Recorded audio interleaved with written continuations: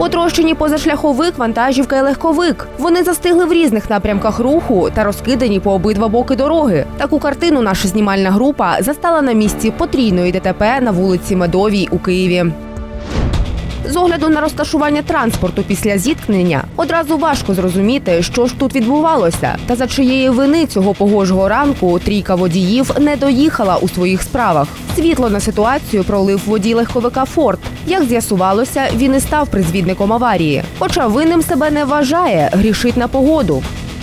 Там сонце припекло, там сухо. Тут то яке гальмував, тут гальмувати, не гальмувати, як воно подивіться, що робиться. Дорога слизька, каток.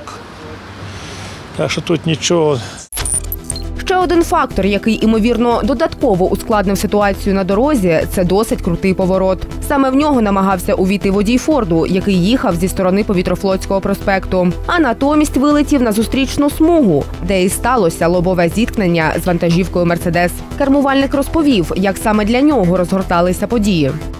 Понесло на повороті, вдарився в Мерседес, ззаді догнав та урек. Тобто він Все. Хоч насправді на диво ніхто з учасників автопригоди серйозно не травмувався, інші водії коментувати зіткнення не захотіли. Більше ж про автопригоди та інші надзвичайні події дивіться на нашому офіційному каналі ЧП Інфо в Ютубі.